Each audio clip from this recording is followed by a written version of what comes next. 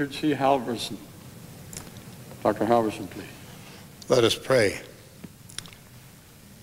In, in a moment of silence, let us pray for Leela Dice, Dace, who works in the dining room, serves in the dining room, in the loss of her father on Father's Day, and for Frank Smonsky and his loved ones, he's an official reporter, in the tragic death of his a great niece and her husband.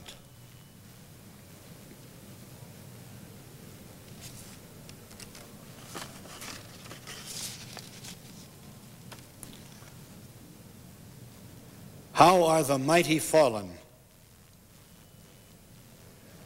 Eternal God, as David joined the nation Israel in mourning the fall of King Saul, so our nation has been traumatized by the fall of a great hero.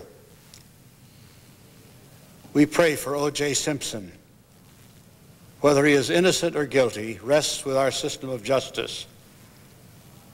But our hearts go out to him in this profound, in his profound loss. Whatever the circumstances, he has got to be hurting deeply.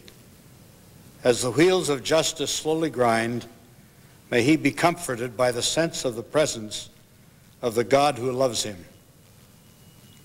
Give consolation, gracious Lord, to the unnumbered who have been disillusioned by the fall of their idol. We realize that leaders have much farther to fall than followers. And we ask for a special dispensation of grace for this American hero, his loved ones, and all who are hurting irreparably by this event. We ask, too, for your comfort and consolation to the families of the victims and all those who love them.